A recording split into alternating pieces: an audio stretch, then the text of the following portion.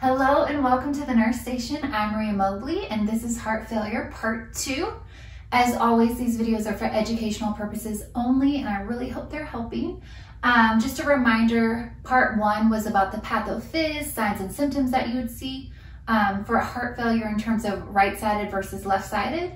And now we're gonna go into medication management, nursing interventions, and also patient education. So I have to stress, heart failure comes in so many different classifications, severities.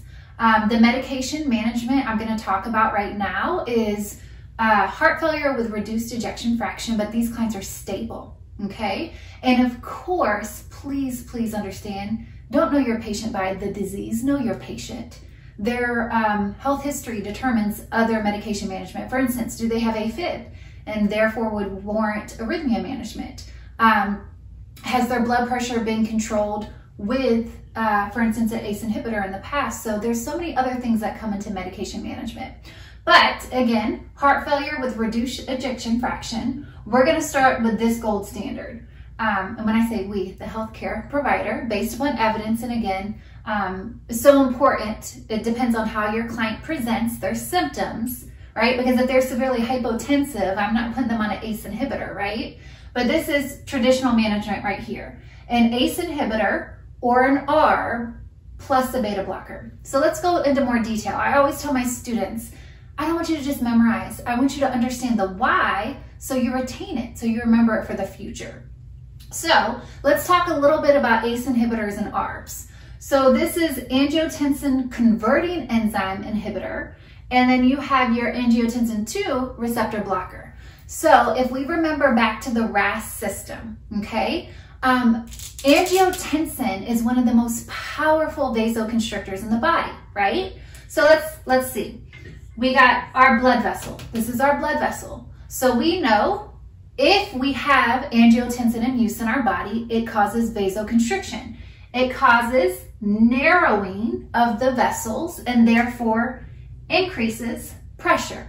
Well, look, this is blocking angiotensin in some way, right? So instead of narrowing blood vessels, it blocks angiotensin, again, a powerful vasoconstrictor, and causes vasodilation. So let's think about that.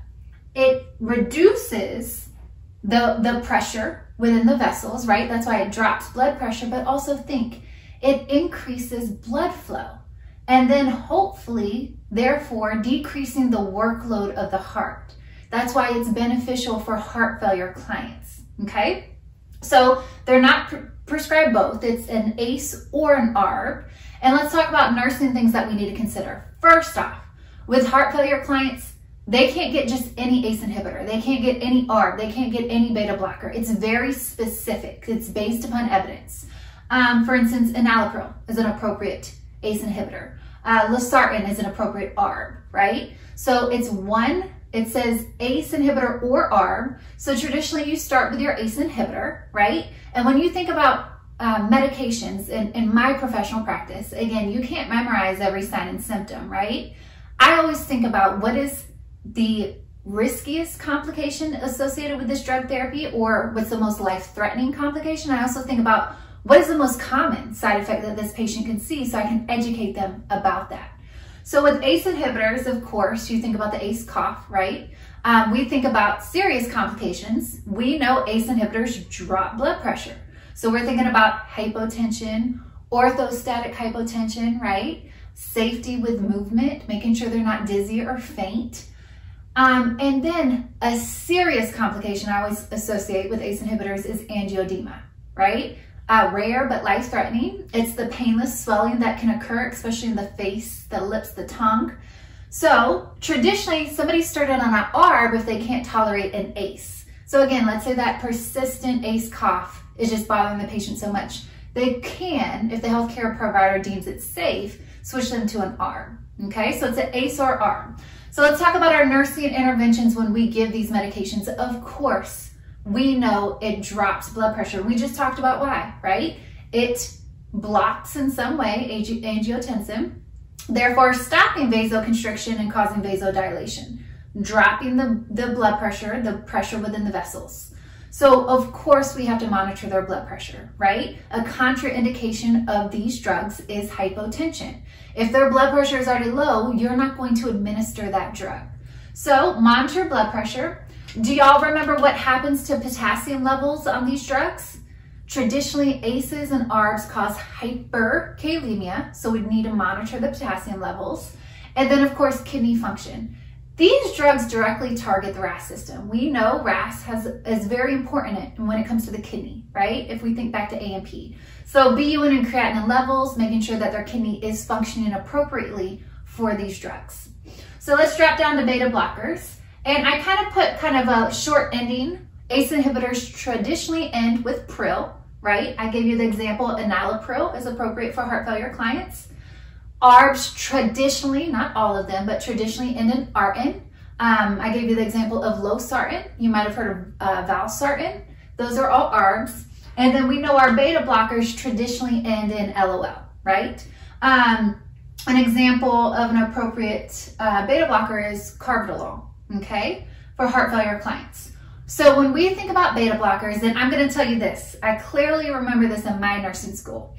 Um, I was in nursing school in 2004, and I clearly, clearly remember for heart failure clients, my teacher said, do not give beta blockers. And at that time, I can't remember, that might have been what was best practice based upon evidence. But let's think about this. I'm gonna draw my heart. Y'all know it's a horrible heart, right? A square. So, we got our right atrium, right ventricle, left atrium, left ventricle. And remember what happens with heart failure um, there's a reduced ability for your heart to pump effectively. So think, you have less blood from your left ventricle pushing out to the rest of your body through the aorta, right? Because you have reduced ability of the heart to pump effectively. So less blood being ejected from that left ventricle. And also, we also have backup, right? So it can lead to pulmonary congestion. Um, it can lead to systemic, right? edema and all those other things we can see when we, we just have fluid volume overload. So let's think about this. We know a beta blocker decreases heart rate, right? So you're like, oh shoot, somebody with decreased cardiac output, why would we ever want to decrease their heart rate? So let me first say this. If your client is unstable, if they are not perfusing, you really better consider, is this okay to give, right? You, you, you're not giving it to a hypotensive or a bradycardic client. That's not appropriate. But think about this. You got your stable client.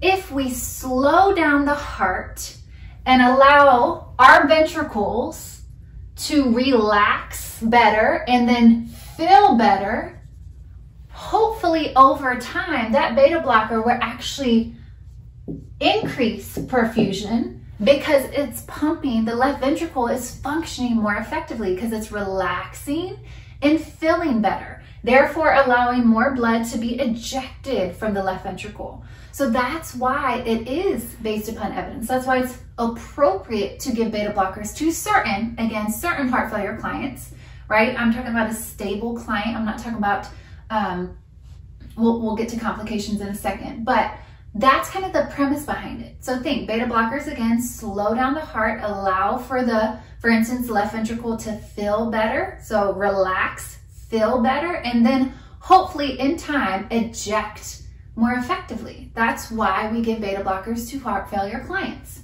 So let's think about our nursing interventions. We know beta blockers slow the heart down. So we know we have to check a pulse and it's not just any pulse, it's an apical pulse for a full minute. And traditionally you hold a beta blocker for a heart rate in an adult client for less than 60, right? Of course, we also understand that beta blockers drop blood pressure. So a contraindication of this drug is hypotension. So you're monitoring for uh, low blood pressure, you're monitoring their blood pressure, you're looking out for orthostatic hypotension, all those things that we already talked about with your ACEs and your ARBs, and we need to monitor their heart rhythm as well. So traditionally, these clients are on some type of heart monitoring device, um, especially, and you'll learn in pharmacology, if you ever have to push these drugs IV, they have to be on a heart monitor and you have to push it over a certain amount of time while monitoring their heart rhythm. So very important nursing interventions. Now, again, gold standard for your traditional heart failure client with reduced ejection fraction, um, ACE or ARB plus beta blocker. Now let's go into other things we'll see, right? I know when we get down to here, y'all cannot see heart failure without digoxin in those nursing textbooks. Trust me, I've read them. Dig is always right there with heart failure. But I do want to just, um, in the real world, it's not prescribed. It's not appropriate for every heart failure client. But we're going to talk about it because, again, my lectures are geared towards that NCLEX perfect world. So let's start with diuretics. We know diuretics can be administered as needed for fluid volume overload, and we absolutely know heart failure clients are at risk for fluid volume overload. So um, furosemide is a very uh, traditional diuretic we can administer to heart failure clients in fluid volume overload. And notice I don't say Lasix. Y'all, I'm sure have been told by your instructors that the NCLEX test on generic. You can see a trade name, absolutely. I'm not saying you can't, but you should know your generic name. So I'm not saying Lasix, I'm saying furosemide as your diuretic. So what do we need to monitor with diuretic administration? I love to always pose this question to my students, and a lot of times it's a test question too. Um, I'll say a nurse is administering furosemide to um, a heart failure client. What assessment data would show the medication is working best or something like that? And I would have more assessment data. Let's say the client had crackles in their lungs, or let's say they had um, pitting edema. I would always put that symptom in there and then I would always put urine output as well. And I kid you not, majority of the times, and I understand why. Students, we have to monitor urine output with diuretics. We know that. We know that diuretics increase the, the volume coming out of the body through urine, right? But y'all, we gotta critically think. Your urine output is going to increase. Can you, with a diuretic administration, okay? That's just a fact. Can you prove to me that they are actually getting better? Can you prove to me that their assessment is getting better based upon diuretic administration? It's not with urine output alone. The best indicator that a diuretic is working is the problem that we're using it for. So if they had crackles in their lungs, I want to auscultate clear lung sounds. If they had weight gain, I want to see a decrease in weight. If they had pitting edema, I want to see edema reduced. That is the best indicator that a diuretic is working. So I hope you remember that because that's so important for your patients as well when you care for them. If I'm given a diuretic, I want to make sure that it's working based upon assessment. What was my problem? What showed me fluid volume overload? And now I want to see it improve. Okay? So of course your nursing interventions we know diuretics can decrease blood pressure, so we monitor blood pressure, monitor for orthostatic hypotension. You, of course, not need to monitor their urine output, not only monitor it, but make sure that they have access to bathroom facilities in a safe manner um, if they don't have a Foley catheter in. Um, of course, we don't want to give these drugs at nighttime, right? We don't want them peeing throughout the night. So unless they're critically ill and they have a Foley catheter in, but monitor the urine output, make sure they have access to bathroom facilities. Now, we talked about ACE and ARBs increase potassium. Diuretics decrease potassium. So you need to be monitoring for hypokalemia. Yes, we have our potassium sparing diuretics, but right now I'm talking about furosemide, a loop diuretic. We need to do daily weights. We need to auscultate lung sounds if they had fluid on their lungs. You need to monitor what if they had fluid um, in their respiratory, their uh, pulmonary system, and they were very short of breath? Um, you need to make sure that their breathing's improved. And then again, just a big, big reminder. Your most important assessment data when it comes to a diuretic to show improvement is to focus on what was showing you fluid volume overload in the first place. So again, if I had a, if I had somebody in heart failure with crackles in their lungs, and I administer a diuretic and I could only assess one thing, urine output or lung sounds, I'm gonna go for the lung sounds every time because that's the, that's the best indicator. That's showing improvement of the problem, okay? Now, let's get to DIG. Um, we know, again, in your nursing textbooks that DIG is always talked about with heart failure and very important interventions. You can kind of think DIG, um, I, not of course not not similar mechanism and all that but it does drop heart rate just like beta blockers it does drop blood pressure just like a beta blocker so of course um, it can cause arrhythmias like a beta blocker. So we need to be monitoring the apical pulse. Again, traditionally you hold it with an adult client if it's less than 60 beats per minute. You need to monitor their blood pressure because it drops it, right? A contraindication can be hypotension. We need to be monitoring their heart rhythm because there's a risk of arrhythmias, especially when we talk about dig toxicity. Um, so let's get into dig toxicity. We know we have to monitor our dig levels. So anytime it comes to monitoring levels, for instance, warfarin, when you're talking about anticoagulation, you need to know your therapeutic levels. For digoxin, it's 0.5 to 2. We monitor dig levels, and of course, we're looking for signs and symptoms of dig toxicity, which can be life-threatening. So a lot of people always jump straight to the changes in vision, right? The halos, greenish, yellow, uh, visual changes, or shadowing of objects. But don't forget nausea vomiting. A lot of times they have GI distress, heart rhythm changes, arrhythmias, um, and a really big risk factor for all those things. Hypokalemia.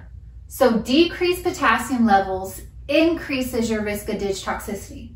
And look, if you ever see these two drugs together, you really better in that in that NCLEX style question, even in your real practice, really better be looking at your patient closely, making sure that their potassium levels are okay, making sure that they're not experiencing any signs of dig toxicity. Because I can't tell you how many NCLEX style questions I've seen them pairing, for instance, furosemide with digoxin, and what, what needs to be a concern or what should the nurse be monitoring. You need to be looking for those signs of dig toxicity. You need to be monitoring for their potassium levels because we need to make sure that they're not low. Because again, we know hypokalemia increases the risk of dig toxicity.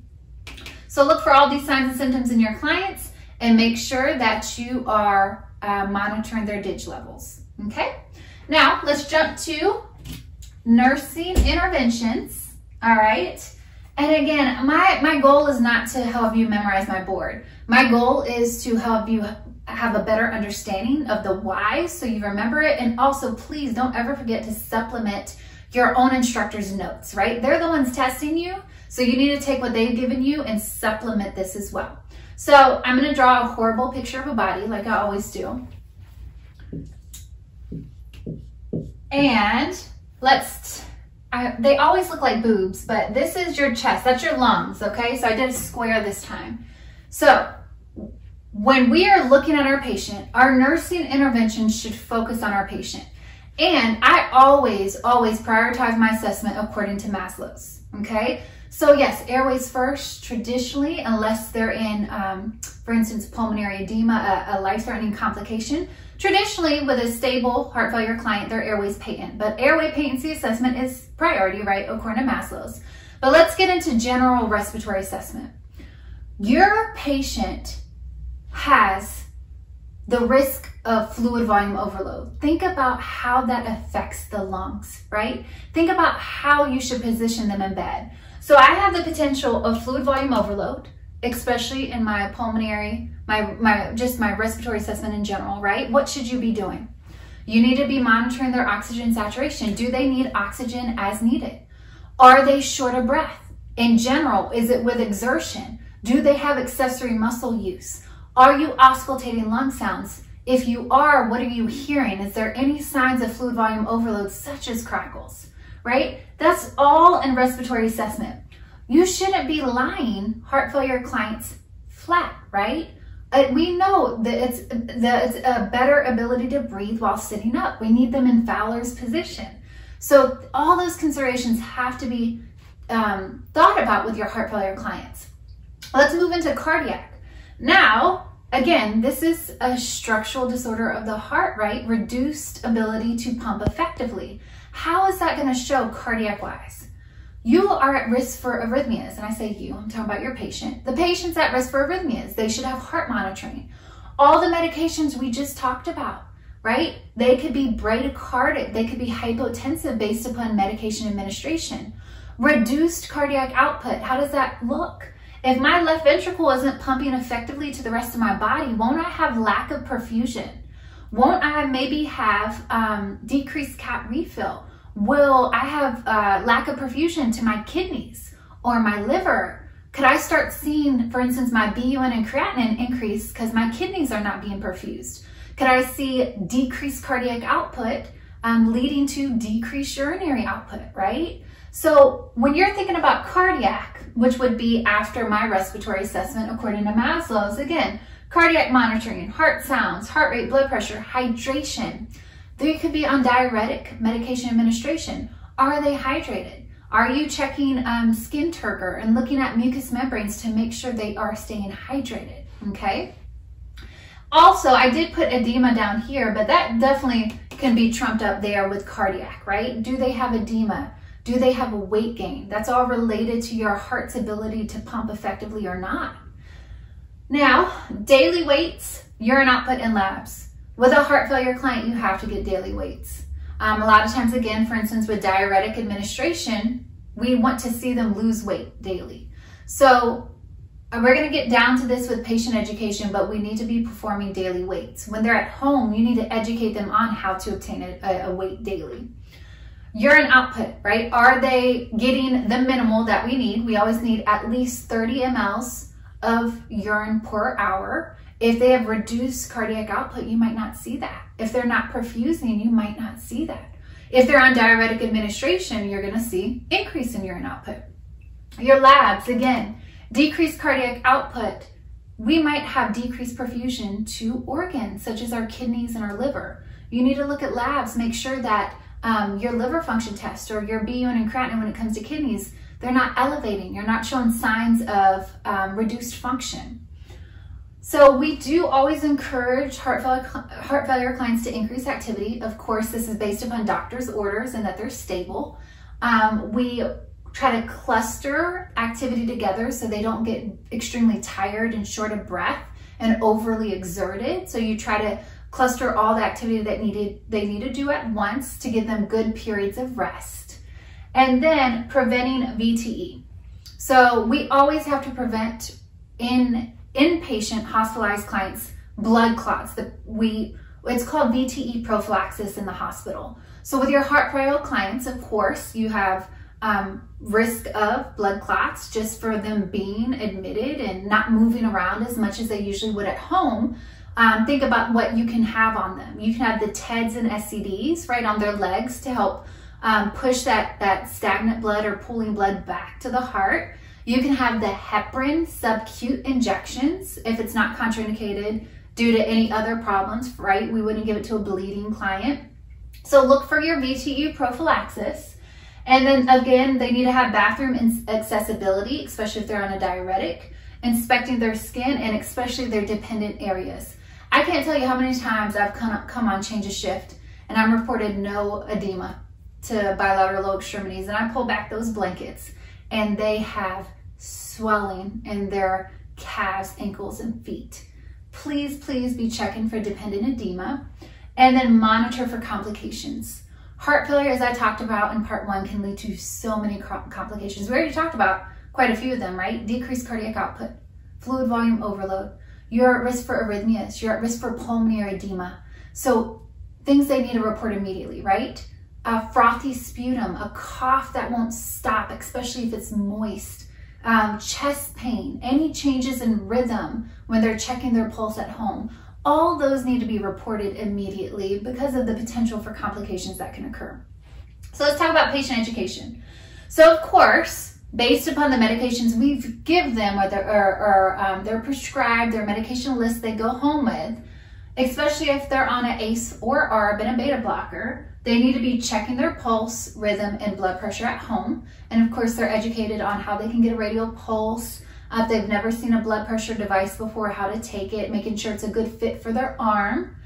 Do not discontinue meds abruptly. That's extremely important, important when we are talking about meds such as these. They should never discontinue abruptly. We don't want to see rebound hypertension or, or other conditions exacerbated. Smoking cessation is essential. If your heart failure client smokes, you have to educate on smoking cessation. Again, when it, the healthcare provider says it's safe to do so, they should be increasing their activity gradually and um, going towards a goal of healthy weight, right? And dietary recommendations. Um, confirm this is um, you'll learn when you get to bedside nursing that heart failure actually falls into a core measure. And there's certain things you have to document as a nurse that you do before discharge of heart failure client. And these are a couple of those things. Confirm initial follow-up appointments. Verify that they understand the meds that they're given. Make sure they have a copy of their med list. Those are all important things to do and then um, signs and symptoms of when to call the doctor. Before that, I noticed I skipped daily weights. Your client will have to take daily weights at home, just like they'll have to monitor their own pulse and blood pressure. But of course, what are we gonna educate them about? It needs to be the same scale, at the same time, after you urinate or use the bathroom in the morning, before you eat breakfast in the morning in the same clothes. It has to be a structured way of taking their weight to make sure it's accurate. And then go based upon what your nursing book says or what your teacher tells you to write down, right?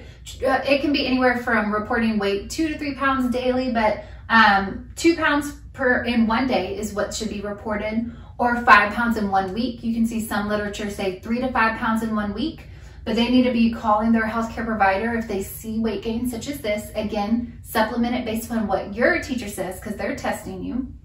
And then Signs and symptoms of when to call the doctor or 911.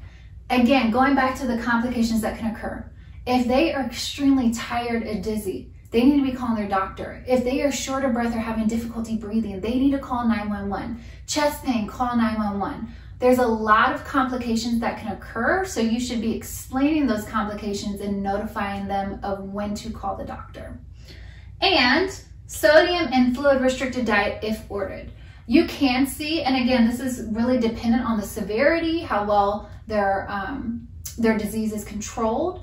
But if they have a sodium restricted diet, traditionally you see it restricted to two grams or less per day. And if they have a fluid restricted diet, again, um, it could be anywhere from 1.5 to 2 liters per day. Very severe restrictions might be like 1200 mLs per day. But when it comes down to these things, it's so important about education. Sodium alone. If it says sodium like salt free, there's still a little salt in there. If it says low sodium on the label, there's still sodium in there. A big thing when it comes to dietary restrictions is teaching your patient how to read the label. Making sure they understand how many servings are in each package, right? They just jump straight to the sodium in milligrams. They're like, oh, this isn't much. But then you have four servings in that package, that serving has now quadrupled. So making sure they know how to read labels. When it comes to fluid restriction, even ice. I used to, my, my patients on fluid restrictions in the hospital, they always wanted ice. That's counted in your fluid restrictions. So really making sure they understand what all is in fluid, ice counts, making sure they know how to restrict it. I always would always get them little medicine cups so they know this is 30 mLs, right? So on average, you can have this amount per hour, really making sure they understand how to count and monitor and add up their fluids correctly if they're on a fluid restricted um, regimen per the healthcare provider. So I hope this helps y'all, again, really understand the why, don't just memorize. Um, and if you missed heart failure part one, Go check it out on the page. And as always, if this helped you, help somebody else. We all are better together and we can't wait. Again, I know I say this all the time, but experienced nurses need y'all. Y'all take care.